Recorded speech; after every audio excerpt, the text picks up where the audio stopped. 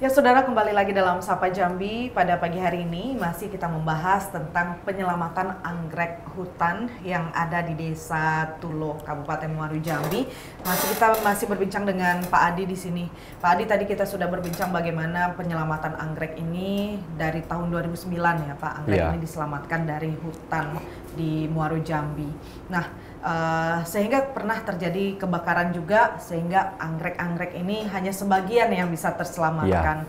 Mengalami kebakaran hebat dari apa yang sudah pernah kita selamatkan dan itu walaupun tanaman ya Pak, Ya. eh, terlepas dari nilai jualnya yang tinggi, dengan mencintai sesuatu yang eh, mungkin ini sudah mendarah daging juga bagi Bapak, apalagi itu dari 2009 ke 2015 itu cukup lama Ya, waktunya ya. ya. Kalau boleh diceritakan Pak, ini kan dramatis sekali. Ya. Bagaimana sih kronologinya waktu itu Pak? Apakah tidak ini unsur kesengajaan mungkin atau bagaimana? Eh, yang jelas itu kan kebakaran hutan Matang Damar itu kan yang jelasnya kayaknya ada unsur kesengajaan kan. Ya buktinya eh, waktu itu kan Direktur Penegakan Hukum Kementerian Lingkungan Hidup yang yang langsung menyegel hutan itu kan. Itu berarti KLHK sudah tahu bahwa di sini ada eh, areal untuk penyelamatan anggrek hutan. Iya tahu. Karena itu kami juga eh, apa namanya laporkan ke ke pusat. Iya. Kalau itu ke- kita akan menjadikan hutan wisata dan konservasi yang realam. Nah, itu kan kebakaran hebat tuh Pak.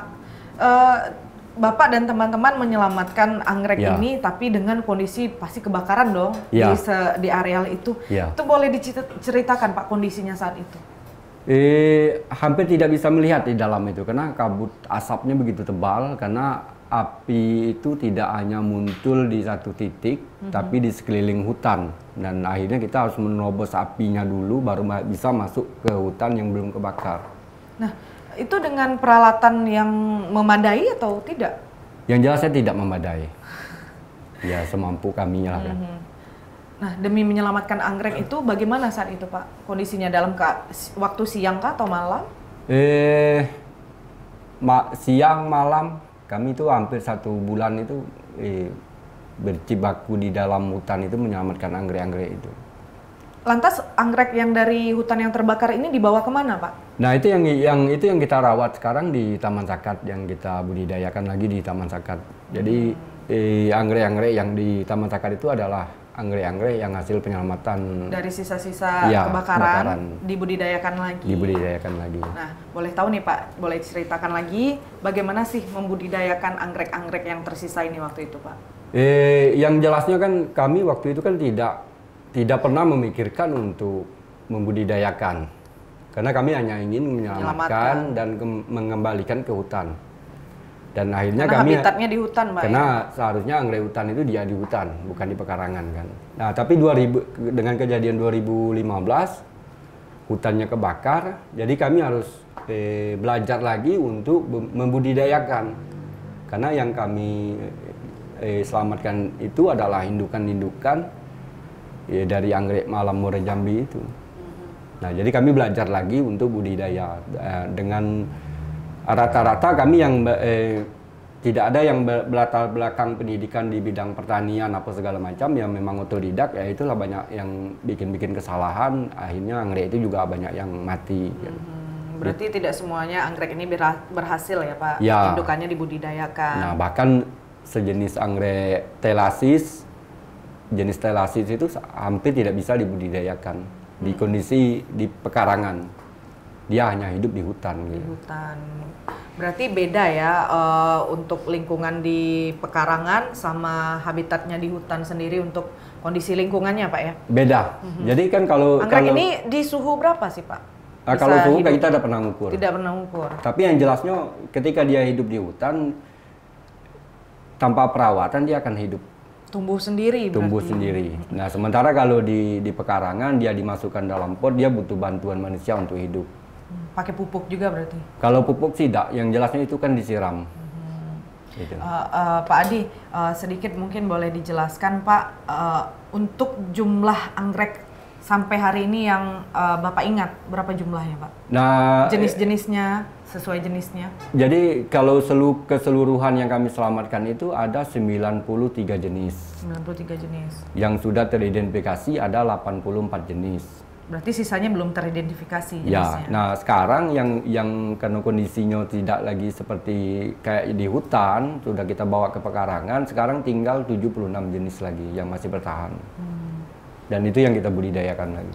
Nah, untuk jenis-jenis anggrek ini eh, pastinya tidak ditentukan begitu saja, Pak ya. Eh, apakah ada bantuan orang luar untuk menentukan jenis-jenis anggrek ini, Pak? Eh, itu murni kami. Nah, karena itu juga kemarin itu kita dapat bantahan dari dari Oh, berarti pernah terjadi konflik untuk pemberian nama-nama anggrek ini? Iya, dapat bantahan dibilangnya kita tahunya dari mana gitu kan. Nah, karena Pihak mana itu, Pak, kalau boleh tahu? yang jelasnya orang-orang dinas yang di bidang bidang-bidang identifikasi nama tidak tanaman. pernah tidak pernah menge- eh, turut serta, tapi Ya. ketika mengetahui malah membantah ya, Pak? yang membantah. Dibilangnya kita mengado-ngado kan. Iya. Nah, Kalau boleh tahu dari bagaimana cara komunitas ini memberikan masing-masing nama anggrek ini kan unik nih Pak. Eh. Memberikan nama itu bukan hal yang mudah juga. jadi kan saya dari dari tadi kan udah udah udah ngomong kalau untuk identifikasi 84 jenis itu kita butuh waktu tiga tahun. Tiga tahun. Karena untuk menentukan nama ini jenis anggreknya namanya apa, kita harus menunggu dia berbunga dulu kan. Karena dari bunga itulah kita bisa ketahuan ini namanya anggreknya apa gitu. Karena di di di hutan itu kadang-kadang kita bisa temukan anggrek yang batangnya sama, daunnya sama, tapi ketika dia berbunga itu beda. Beda. Artinya dia udah beda nama. Sangat unik sekali berarti Ya. anggrek ini Pak ya. Iya. Nah eh, saat ini apa rencana dari komunitas yang Pak Adi bersama teman-teman naungi ini untuk ke depannya terhadap nasib-nasib anggrek yang masih Eh, kalau sekarang kan kita tetap di Taman Sakat dengan budidaya anggrek di situ, dengan edukasinya di situ, dan ke depannya itu kita ingin kepingin eh, Taman Sakat ini menjadi miniatur hutan Muara Jambi. itu harapannya Pak. Ya. Nah untuk eh, mencapai harapan itu kira-kira dari komunitas ada nggak berkomunikasi dengan dinas-dinas terkait atau pemerintah setempat terkait keberlangsungan anggrek ini Pak? Sudah, kita udah komunikasi dengan eh, semua pihak dan se- termasuk swasta juga kita komunikasi dan adalah yang membantu-membantu gitu kan. Tapi ini programnya jangka panjang kan dan butuh biaya. Nah itu yang yang kadang-kadang kita mengalami keterlambatan itu. Terkait biaya nih Pak, Iya. dari 2009 sampai hari ini tidak sedikit pastinya dong biaya yang Iya. dikeluarkan ya Pak ya. Nah, untuk biaya ini swadaya dari personal komunitas atau bantuan dari pihak luar Pak? Kalau dari 2016 sampai 2018 itu murni Biaya murni sendiri? swa- swadaya. Swadaya. swadaya komunitas 2018 ke sekarang ini adalah eh, bantuan-bantuan dari pihak luar kan. Karena kita di sini kan juga eh, untuk masuk ke Taman Sakat itu kita menggratiskan pengunjung-pengunjung itu kan. Kita tidak menarik biaya, Tidak menarik biaya sama sekali. tidak. Berarti eh, terbuka Untuk, umum. umum. Ya. Nah, kenapa ini tidak eh, dibuka dengan memungut biaya Pak untuk masuk? Karena kan mungkin untuk bisa jadi biaya pemeliharaan atau apa gitu Pak? Eh, karena kami mikir anggrek-anggrek ini kan adalah warisan dari hutan Muara Jambi kan. Gitu. Berarti tidak muluk-muluk Pak ya? Ya. Tidak juga menjadikan eh, sesuatu yang sudah Bapak selamatkan ini menjadi eh, bisnis Ya. eh, untuk bisa mendapatkan eh, uang yang lebih banyak dari ini ya Pak.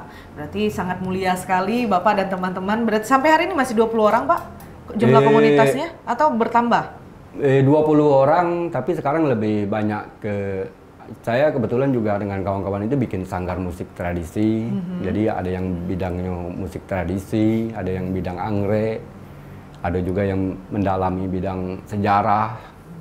Nah, Berarti itu. berkembang. Nah, anggrek ini kan langka nih Pak, Ya. tanaman langka. Ya. Dan uh, anggrek Muaro Jambi ini mungkin bisa dikatakan anggrek asli hutan dari Muaro Jambi sendiri. Ya.